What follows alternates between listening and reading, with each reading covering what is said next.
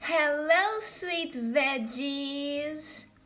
Today we are talking about commissions again because that's what I have been drawing lately. So we, we are gonna do a few more videos on the commissions I've done until now. So today, what am I drawing? A D&D character. Most of my commissions were D&D characters and like I love them because they have just this magical fantasy vibe to them and I love drawing them. So yeah, keep commissioning me D&D characters. I love it. This one is a bard. I know that bards ha it have something to do with music, but I am not familiar to the D&D world. So don't don't take my word for it. Don't take my word for it. I really don't understand much about this whole D&D thing. I just know I love the characters. The first video on commissions I did, it was a D&D character too. I don't know if I mentioned it in the video. I know I don't know. They are just they are so pretty. They are so fantastical. It's it's just my vibe. Okay, keep commissioning me them.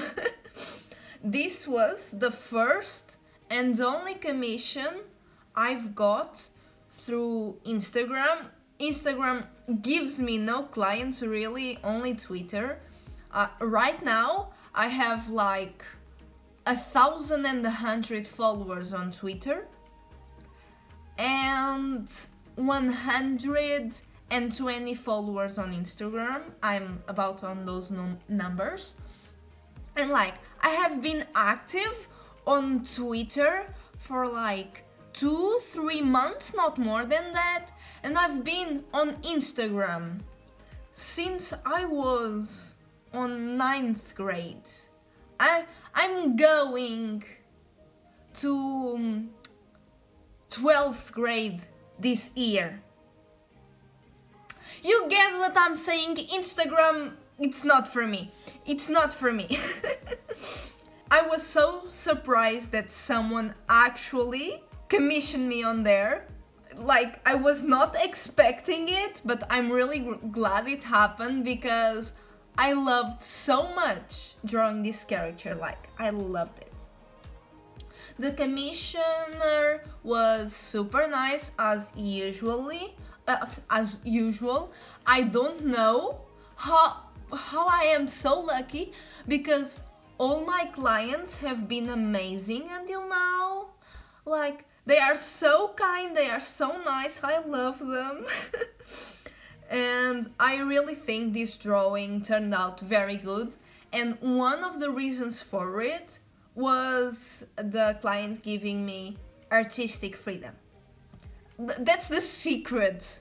Commission, commissioners out there who are listening to this, give your artist artistic freedom and I swear to you, it will turn out great. At least it will with me. So if you want to commission me, you know, give me some freedom. like the clients gave me general ideas and basically told me to uh, do whatever you want from there. Um, they gave me like uh, they told me to draw a sleeveless like a top that follows the body. Uh, I don't know the word for that right now. It doesn't matter. You can see it. I think that's enough. they also told me to draw baggy pants on the character because to allow more movement because as you see they have so, uh, swords. I don't know the pronouns of the character so I'm just gonna say they. Uh, they have swords. I believe they fight in some kind of way. So the baggy pants that allow movement was important for this character. And they also gave me a color palette like warm tones in general, like red, orange, yellow, and uh, the skin, you can see it right now, but it's like lava. It's like a dark gray with like lines of orange and yellow. You'll see soon what I'm talking about. And I, I actually think it was the first character like I fully illustrated with a non-natural skin tone. Still, I love it. Also, the swords, I think they are called harpiers. I'm not sure, I might saying this wrong. If some sword expert is watching this, tell me in the comments because I have an, an, an horrible memory. I actually loved drawing the swords. I was like, when the person told me to draw it, I, I thought, I'm gonna hate this, am I not? but when I actually got to drawing them, it was it was fun. It was a different experience, and I'm really glad the person told me to because it was a new and I liked it. Um, I should have charged more for the swords though. I priced the same as a character without any like accessories like swords are very detailed jewelry and I shouldn't have done that. I shouldn't have charged more but it's alright. It was it was my one of my first commissions so it's normal to make mistakes. And I had lots of fun with it so it's okay. I don't know if you can notice but I'm like not recording in chronological order. Like I did this illustration a month ago I think. And the video from last week I did it I'm it was like two weeks ago? This, so in the style the, the improvement you're seeing is absolutely absolutely non-consistent I'm sorry to tell you, but like it's a mess because I just I look at the drawings I've made and I, and I think, okay, which one do I want to talk about? And sometimes that's not chronological order and that's alright.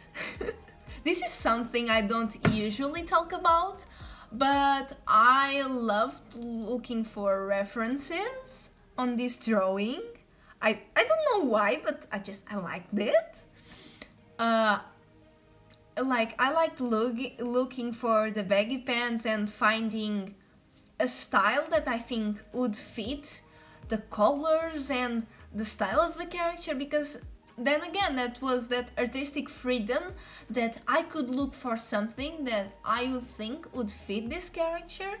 So I really loved looking on Pinterest like for the top. I looked for futuristic tops because it really gives me that vibe.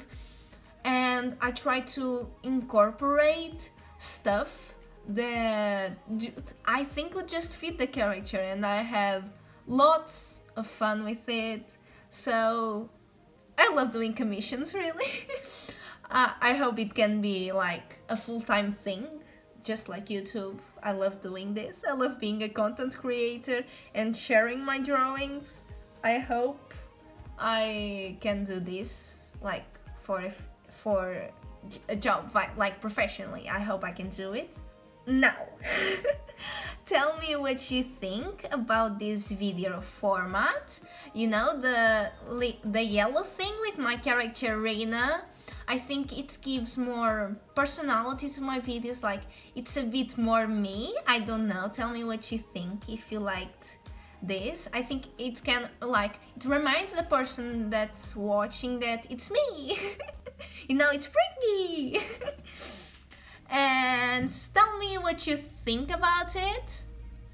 It's gonna give me a lot of work if I ever change the character that symbolizes me. Like right now it's Rena, but and I'm writing a comic about her and her story, but it's like uh, her comic is on standby and I'm writing the comic for other characters that I have never drawn yet. Okay, I have drawn one of them once in my sketchbook, like traditionally, but I haven't done any digital illustration of them and if I ever, which I probably will, change my the character that represents me it's gonna be so much work because I gotta change every profile pic on every social media.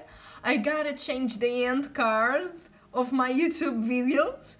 I gotta change that yellow thing, even though it's so pretty. I, th I think it's worth, I think it's worth the, the amount of work it's gonna give me in the future, so it's alright. I scripted this video, by the way, just like I did with the last one. You probably heard me flip pages through this, so tell me what you think. If it sounds more consistent, like if you liked it, please tell me. Don't forget to like, subscribe. Thank you for watching until the end because I've, I've said this so many times, but not many people do that. Tweet me at Prinki Doodles, like you can DM me on Instagram, I guess or comment below if you have video ideas or any questions.